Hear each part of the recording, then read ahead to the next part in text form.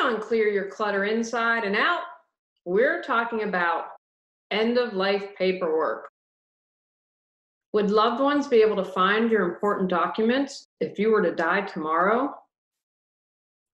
Do you have all your passwords easily accessible so people can access online accounts? Have you arranged what will happen to your sensitive papers, such as client information or personal data? Do you have a will and a power of attorney? Learn how to organize paperwork as we begin our month focusing on going with grace. Do you control your clutter or does your clutter control you? On Clear Your Clutter Inside and Out, we'll teach you awareness as well as action steps to create change in your life. Come on, let's get started. Today's episode was inspired my, by my father. A few years ago, my brother and I met with his an accountant, an attorney, and my parents aren't super rich.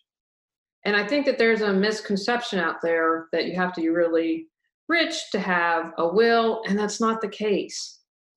I read a recent article in the Daily Mail, and I believe this was an Australian. I don't know Australian law, obviously. I don't know law. Now, a little bit, right? What I've learned from Law and Order. Anyway, it was a young woman. She was married, she was pregnant, and her husband died, and he didn't have a will.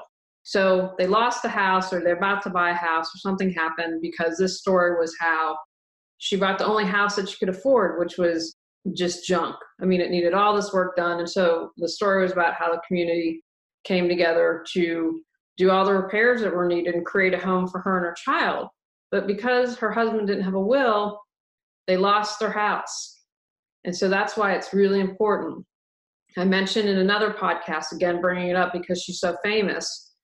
Aretha Franklin didn't have a will. Now, again, they think they found a handwritten will in the couch, but there's all this contesting of the will, there's all this money. She didn't have checks cash. It was just a hot mess. Her paperwork obviously wasn't organized well at all. Just because you're not wealthy or you're middle class, or even if you don't have a lot of money. My husband told me this story when his grandmother said, I don't want you fighting over the small stuff whatever that I'm going to leave behind. And so it wasn't anything has sentimental value, is my understanding. But he talked about how the, relatives fought over the stuff.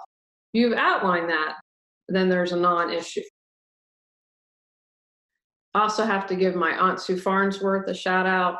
She is a retired estate attorney and has helped me as I focus my business. I refocused it because after this conversation with my father, seeing friends, I'm now 50, seeing friends dying and not having wills, and seeing the suffering of people left behind. Aunt Sue was very helpful with me creating lists and doing things to be able to help people with end of life planning and organization. So, wanted to give a huge shout out to Aunt Sue.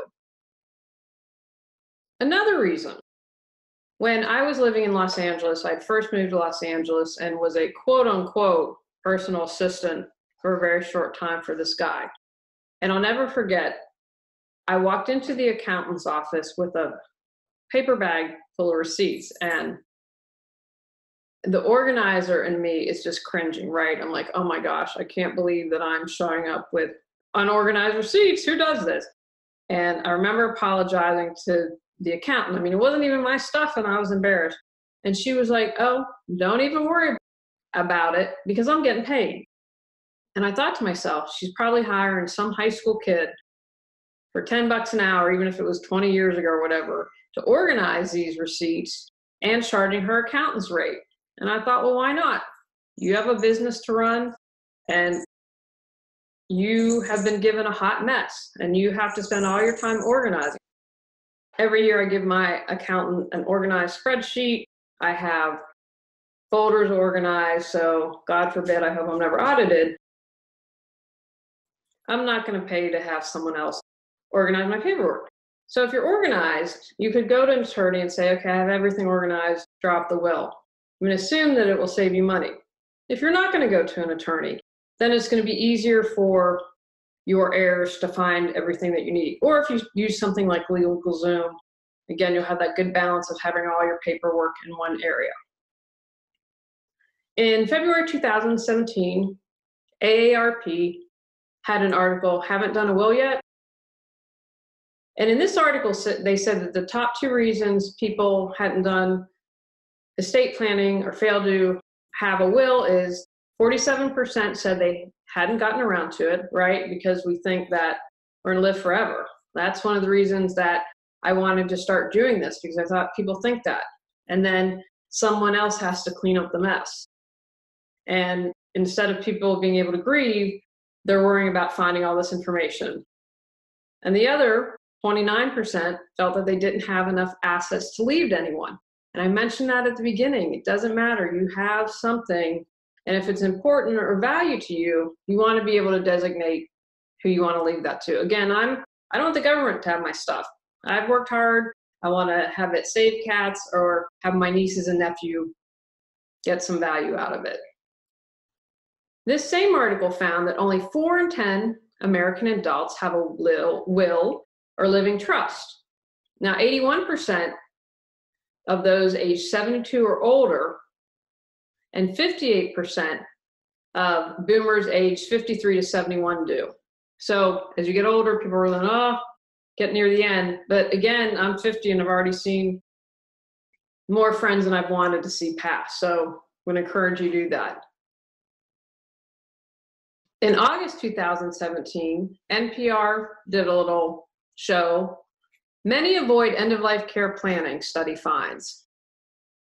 Even though advanced directives have been promoted by health professionals for nearly 50 years, which that really shocked me, I was surprised that they've been promoting that long, only about a third of US adults have them. People with chronic illnesses were only slightly more likely than healthy individuals to put their wishes down on paper. Of the nearly 800,000 surveyed, 37% completed some kind of advance directive. Of those, 29% completed living wills, 33% filed healthcare proxies, and 32% remain undefined, meaning the type of advance directive wasn't specified or was combined. People older than age 65 were significantly more likely to complete any type of advance directive than younger ones. 46% of older people versus 32% of those who were younger. But the difference between people who were healthy and those who were sick when they filled out the directive was much smaller 33% compared to 38%. And I just share those statistics. You're not alone. Again, we never know when our numbers call. And this topic's important to me because when you've accepted death, you can live your life fully. This is why I have concentrated my business now on life coaching and end of life planning and organization because I want people reawakening their brilliance. I want people following their passions. And the biggest fear for just about all of us is death. We know it's going to happen. I believe in reincarnation, although I'm tweaking that with all the quantum physics things that I'm reading about everything going on simultaneously. But once we've accepted death, we can live our life fully. And so having these conversations. And my hope also with this month's episode and the work that I do is to open up conversations if you're caring for someone that's elderly. I have had friends that they haven't known anything and their parents have passed and it's, and it's added more stress to their grief. And it's a subject that sometimes is avoided a lot. My father, it appears from just what I read among friends, is in the minority about having these conversations with us. I'm so grateful though, because again, we are going to have, we will be able to spend our time grieving instead of finding out all this stuff and where it's located. Another thing that's great about having these conversations is that you can make sure nothing's missing when we had the initial conversation with my father, we're like, well, what does mom want to do with social media? What about anything online? That's something that you all need to address. So it allows you to ask questions, get clarification, and make sure you have everything covered. This. When you prepare for death, you can live your life fully. Where is all that information to your online assets, and would people know how to find it? What do you want people to remember about you? If you were to die suddenly, who would take care of your pets?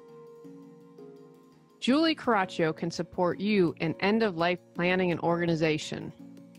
Visit reawakenyourbrilliance.com to learn more. Today, we're going to talk about paperwork. This is by no means a comprehensive list. I would, I don't have enough time to do podcasts on this. It'd be hours and hours. So this is to get you thinking, to get you started, to get you moving in the right direction. These are different categories that you might want to consider. Just a few examples. Again, this is what I view the start of the conversation. So, some of the areas where you might have paperwork legal. So, that's going to include obviously your will, your power of attorney, and things like certificates and trusts. You may end up setting up a trust in addition to your will. My understanding, I think I read somewhere that Aretha Franklin had a child that was disabled or autistic or something like that and had set up a trust for that child. Health. That could include living wills, end of life care, and I really encourage you to think that through.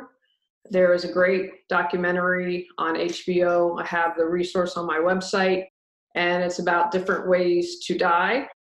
I think Tony's probably going to choose a space option. I have no idea how much that costs, and I thought the green burial looked kind of cool. What is your and how do you want your physician orders for life sustaining treatment? That's called a POLST document. P O L S T. I don't want to suffer and suffer. Pull the plug when we're ready. So those are the type of health documents you'll have.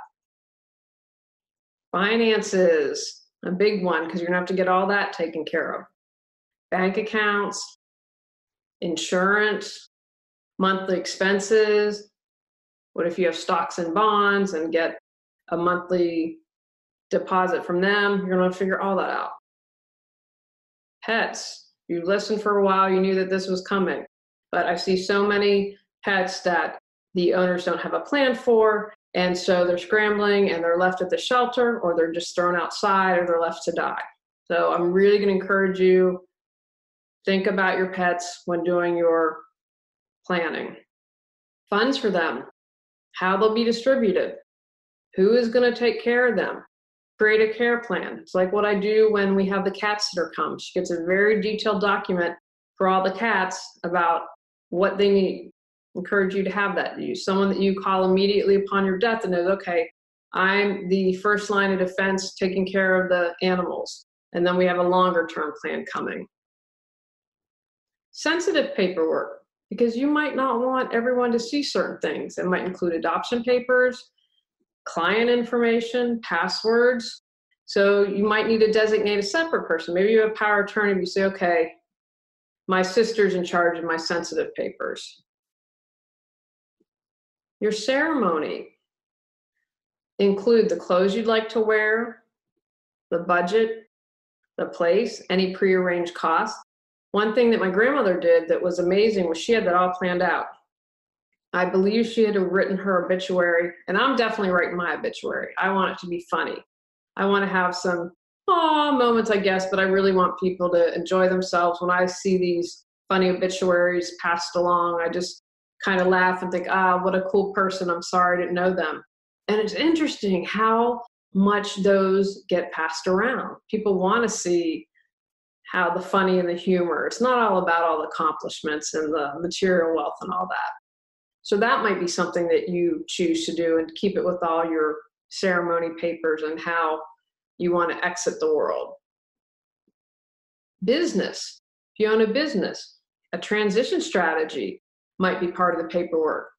You're ending, but who's going to take over? Or is it going to be sold?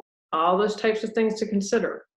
You might have titles and deeds if you have a physical location, your bank accounts, how you pay bills, have all of that information. These are just certain things, paperwork that you might need. Now, again, if you don't have a business, ignore that part. but you might have a lot of paperwork for your pets because you've got lots of things. You have a pet that's medically ill, so you need to come up with a plan and say, okay, I'm going to set aside $10,000. I think that that'll pay for food and everything. I found someone to care for them. Or I know a lot of pet rescues have now set up programs where if you pay them, they will make sure we will take care of your pet until the end of your life. Those are categories of papers to start with. So the next part I want to talk about is how are you going to organize?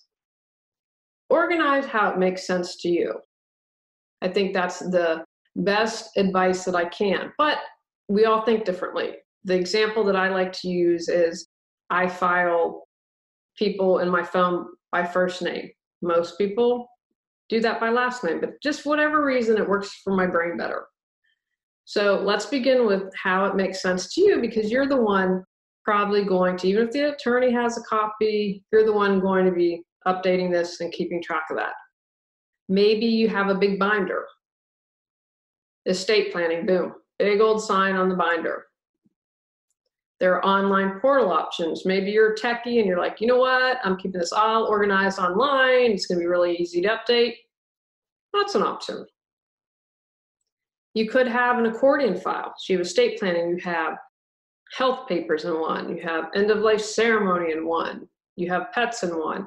Just keeping all that organized, but that you can open and easily has categories separated out. Or you simply have files in a filing cabinet. You have the hanging folder, it says estate planning with all the folders of your paper. Organize by category. Again, simplify this process for the people you're leaving behind and make it easy for them. I'm going to encourage you have an index, especially because we all think differently, kind of a roadmap. Okay, here are my papers and here's what's included, and or a little guideline that has all of the information that they need so they can easily understand. Or, for example, if you have been legal, okay, our safety deposit box is at this bank. Here's the password. Here's all the information you need to know. You're going to want to have this paperwork organized and easy to access because you just can't walk in the bank. There's a process to get a safety deposit box, and you want to make sure you understand what that is and have all that in line to make it easier on your heirs. Don't forget to label. Okay, guys, I've been doing this for a while. People have these labels, like, what, what? Can't read it. So make sure that's clear. If you're going to invest in a P-Touch, now is the time. Just make it easy for everyone to read. And then finally, you're going to want to make sure your lawyer, power of attorney, sister, wife, sibling, whoever the important people are, that they know where they can find your important papers. You have an online portal. Okay, everything's here. Name, here's the link, here's the login, and here's the password. It's in drawer number two of the file. Have all it, they know where they can access it. And I encourage you in general that you have a copy, perhaps keep a copy in your safe. What's another? If you have a safe, what's the combination? Keep it in the safe, keep it in a deposit box, give a copy to the power attorney. I would encourage you to definitely with your power of attorney, if there's someone else that you really trust, I'd encourage you to make sure they have a copy as well. Take actions from today's podcast. Determine categories of important paperwork. Gather all your important documents. Create a system to organize your paperwork. Have an index for all your records. Label clearly. Tell people where your important documents are located and how to access. Provide copies for your power of attorney or other important people. On our next episode, we're talking about self care around death and dying. Go out, clear your clutter to create the life you choose, deserve, and desire. When you clear your clutter, you can share your gifts with the world. Sign up for our free newsletter at reawakenyourbrilliance.com. If you've enjoyed Clear Your Clutter Inside and Out, please rate, review, and share us.